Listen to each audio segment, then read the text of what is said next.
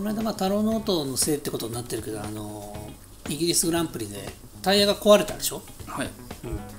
でもそのいいなんか太郎さん的にはなんで急に急にあのレースでなんで急に壊れたの？みたいな。去年もイギリスで壊壊れてる？タイヤ。去年は壊れてないですかね、でまあ2週連続だってなんかね2週目も壊れそう、まあ、壊れなかったけど壊れそうな感じがあったけどなぜあの急に北原さん的にはもう急になんで起こったかっていうはいイメージがあるんだけど、タロノートのせい。最終ラップですからね。最終決戦。去年とタイヤが違うからってこと？作りが。いや去年と同じタイヤですからね。まるっきり。まるっきり、うん。2020年用に作ってたのにそれをなしにしてあそうかそうか2019年用タイヤ使っててうんうんうんうん。しかもまあコンパウンドアロケーションも同じ C1C2C3 で走ってて、えー C1 が壊れて一番硬いタイヤが壊れてますからね。えそれはなななんでなのわからない。いや分かってますよだから。単純にタイヤが摩耗しまくったからですね、でも去年はまあもうしてないんでしょ？まあ、去年と同じタイヤじゃないですか、まあ、あの内圧高くしてますけど去年よりも。まあ、それだけ今年の車が、えー去年よりもダウンフォース増えて、スピードが速くなってる高速コーナーで速く走るようになってる。はいはいはいはい。はい速く走ればタイヤは摩耗するあタイヤにね、うん、でそれが1周とか、まあ、予選アタックだったら問題ないけど、40周走ると、ね、ちょっとの差が40倍になるわけだから。あそうか結果として去年と同じタイヤです。でも車は進化しちゃってます、もうそれはもうピレリが毎年言う言うことなんですけど、F1 ってやっぱり1年で全然1秒とか2秒とか速くなるんで、それによるタイヤにかかる負荷の大きさっていうのはものすごい大きいから、ああそうそれを、まあ、ピレリは開幕前のテストでしっかりつかみたくていろいろテストするんですけど、うんうんまあ、それに基づいてシミュレーションもして、えーこのタイヤをこのサーキットに持って行っても、で今年の車で走らせてもこの内圧にしとけば大丈夫だよねっていう内圧を、まあ、最低内圧として指定して、まあ、実際守らせてるわけですけど、じゃあそれを決勝で何周走るかっていうのは、まあ、正直、まあ、ある程度そのレコメンドはしますけど、ピレリの計算だって完璧とは言い切れないじゃないですか、結局金曜日に何周どういうふうに走ったかしかわからないからああそういうことじゃあ決勝で、ね、いざ本番みんながどういう走り方するか、それこそ高速コーナーでビャーンって予選と同じように走ったらまあ、10周でなくなりますよね。でもまあみんな決勝ってある程度タイヤ持たせたいから高速コーナーではある程度こうゆっくり走る。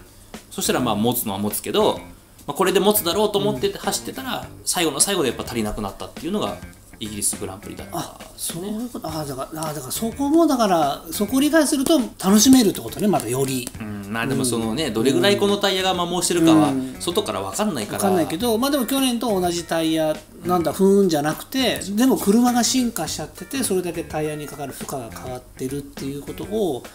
でもそこがだからあの、うん。まあまあ、今日みたい。にこうこうプロに聞いてプロが答えてくれると。あそういうふうに考えるとほらもうどうしてもほら田野さんみたいな人はもうピレリがもうクソタイヤ作るからだよみたいな思っちゃうよ単純に。じゃあそれだったら毎回バーストしてるでしょ考 単純に思う方が楽じゃん。だってえない。すごい考え考えてってやつじゃない。そうそうそうそうそう。ああそういうことか言われるとそうなんだけど、まあ、もちろんシルバーストーンがすごく高速コーナーが多くて、うん。タイヤに負荷がかかるサーキットだっていうのが大前提としてあるんですけどね、うんうんうん。シルバーストーンみたいに負荷がかかるサーキットはあとどんなとこあるの？鈴鹿、ああでも鈴鹿今年ないもんね。まあ、高速コーナーがあるところですよやっぱり。あ高速コーナーそれがたくさんあるところ。あたくさんあるとこね、うん。スパなんかは、あの違う意味で、まあ、セクター2は高速コーナー多いけど、はい。外側で踏ん張るタイヤというよりは内側で引っ張られるタイヤがダメになるパターンが多いですよね。ああなるほど。特にピレリの場合はそれが多い気はしますよね、へえまあ、とにかくピレリは高速コーナーでそれもピュッじゃなくてずーっとこれが負荷がかかる。長い負荷がかかるようなコーナーはちょっと苦手っていうのはタイヤ的に苦手なんだ。構造的にダメなんでしょうね、まあ、もちろんそれは、ね、ワンメイクだから、この予算の中で作りましょうってあるからうん。もちろんお金かければもっと良くなるのは分かってるけあど、ーまあ、この予算で回さなきゃいけないからでこういう構造にしてるっていうのはあると思いますけどね。それはもう今例えば国内のレースとかでも、あのどこのレースでもワンメイクになるとやっぱそういうふうにタイヤ屋さんはなるから、まあ、どどっちかというとやっぱりあのどこのメーカーさんも方向性として同じようなタイヤになってるみたいですけどね、ああそういうことね。もちろん表面の,、ねあのゴムのグリップのあるなしはそれぞれ違うけど、うーん。なるほど。じゃあちょっとまたちょっとそういうふうにこう見ていくとままたた楽しめるってことね。ここの先のレースもね。まあちょっとねタイヤ屋さんが固めのタイヤをだから今持ってきてるじゃないですか、うん。ピレリは、まあ、やっぱりそういう事故はやっぱりタイヤ屋さんとしては見たくない。まあまあそりゃそうだから、うん。あのまあ、コンサバに行けば、一番硬いタイヤ持ってっとけばいいわけで。だああ確かに。からまあレースはワンストップっていう風になっちゃってるんですよね。ああそういうこそういうことね、はいはい。それがだから2ストップになるぐらいの要するに、あの1つのタイヤで半分走りきんない、3分の1ぐらいしか走りきんないっていうタイヤを持ってくればレースはもっと面白くなるのにねとは言われてますよね。うーん。ちょっとだからまあワンストップだと確かにタイヤ交換1回のそのタイミングしか順位が入れ替わらないってなると、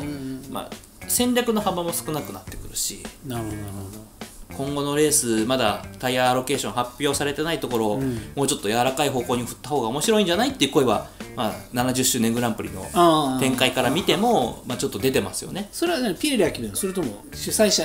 がそう主催者は何も決めないですね、あのピレリが、えーまあ、データそのシミュレーションによって、まあ、提案してそれをまあ FIA が一応承認するって形になってます、はい FIA がこうこうこういう方向性にしてとかっていうことはないの？あります。それもあります。あるんだ。うん。ピレリとしては当然そのリスクは負いたくないからうん。コンサバの方向に行くじゃないですか、まあ我々としてはこうしたいですよって出して、で FIA がそれもに対して。前々から FIA なり FOM がちょっとここはアグレッシブなタイヤ選択にしてほしいなっていうのはあったりしますよね。うーん。あそういうことなのね。まあだからこの間のイギリスの2戦でちょっと盛り上がっちゃったりもしたからちょっとまたその傾向がしばらく強くなるかもしれないまあでもちょっとやりすぎると本当にねまあまあのそうだね。レース週末のタイヤセット数が足りなくなるっていうこともあるかあらそこも難しいとこですけどね。うーんまあそういうことだったのね、うん、で皆さん闇雲にピレリさんをいじめるのはやめてください、はい、パスタ美味しいぞ。確かに。あーたもうなんか食べたくなってきた。パスタだけで買収されてる説。本当美味しいんだって